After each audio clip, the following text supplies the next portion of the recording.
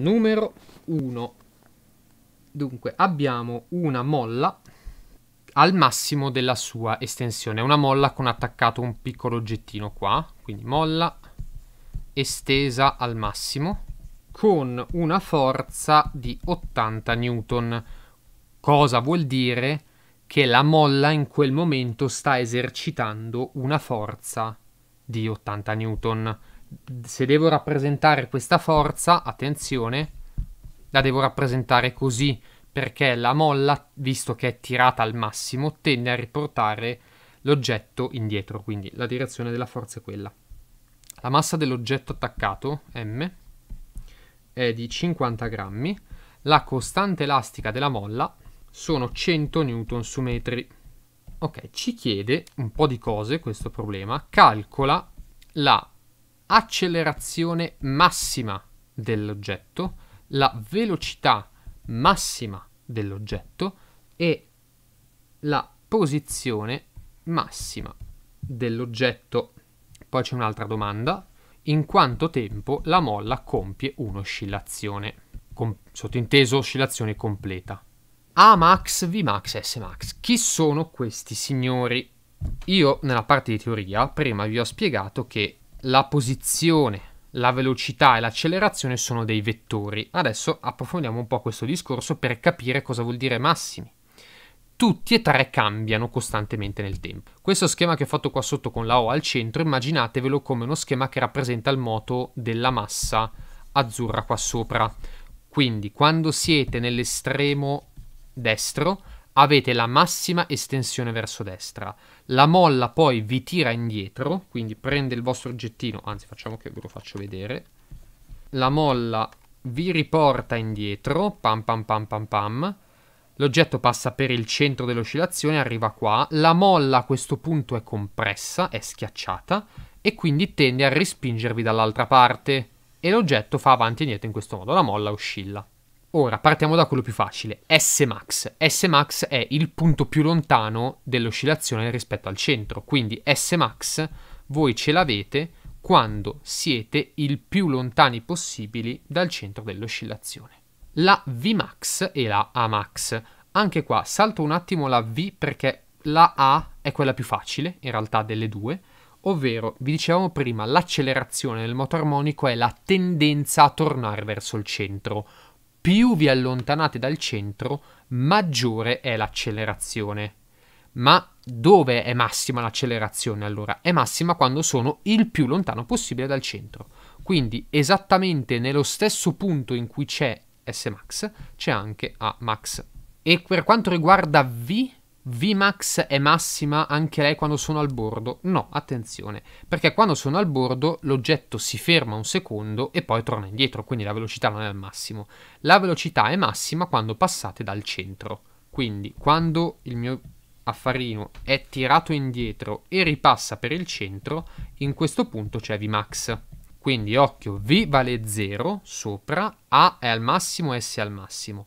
Sotto quando sono al centro, S vale 0 perché sono effettivamente al centro.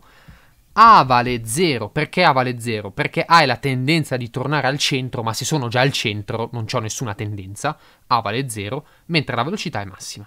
Quindi attenzione, la A max, S max e V max si presentano in situazioni diverse. All'atto pratico come le calcolo? le calcolo con le solite formule che adesso vi riscrivo, ovvero S uguale R coseno di omega t V uguale a meno R omega seno di omega t meno R omega quadro coseno di omega t. Ragazzi, il trucco è semplice, le quantità massime, quindi S max, V max e A max, le calcolate togliendo il seno e il coseno dalle formule. S max è uguale a R, V max è, togliete anche meno, R per omega, A max è R omega quadro. Facile e indolore. Quindi, quanto vale S max? È R, cos'è R? È la massima, è il massimo allungamento della molla. Quindi, omega è la pulsazione che devo calcolare e omega quadro devo calcolare. Perché ho tolto seno e coseno? Perché li ho messi uguali a 1 se qualcuno di voi ha fatto un po' di goniometria sa che seno e coseno al massimo valgono 1. Visto che mi servono S max, V max, A max, ho messo seno e coseno uguale a 1. Bon, quindi in realtà non è che devo fare chissà cosa, mi devo calcolare R e omega e ho ottenuto le tre quantità.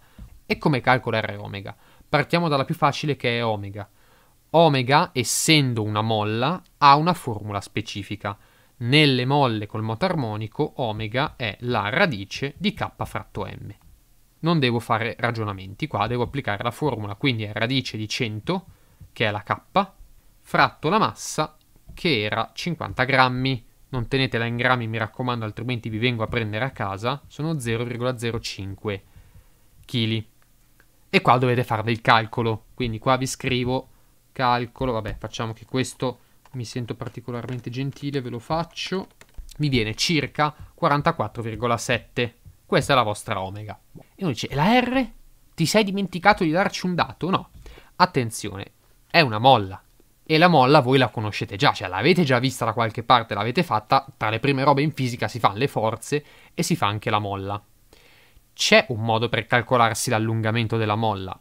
Utilizzo le formule delle molle, cioè io so che la forza elastica è K per, normalmente voi lo scrivete come K per X, X è l'allungamento della molla, in questo caso X è R perché R è il massimo allungamento della molla e quindi è sempre una X. Per quello mi ha dato la forza lui, perché è saltato fuori con quell'80 Newton, mi serviva qua. Quindi io posso dire che da questa formula R è la forza elastica fratto la K. E quindi me lo devo calcolare. Quindi R è 80 fratto la K 100. Quindi R è 0,8. OR o omega mi posso calcolare le varie quantità. S max 0,8 metri, facile. V max 0,8 metri per la omega 44,7. Vi faccio fare il calcolo a voi, qua vi scrivo come sempre calcoli, tanto le calcolatrici le sapete usare. La A max è 0,8 metri sempre per 44,7 al quadrato. Anche qua vi dovete fare i calcoli, calcoli. Quindi, usando le formule del moto armonico, in un attimo mi sono calcolato A max, B max ed S max.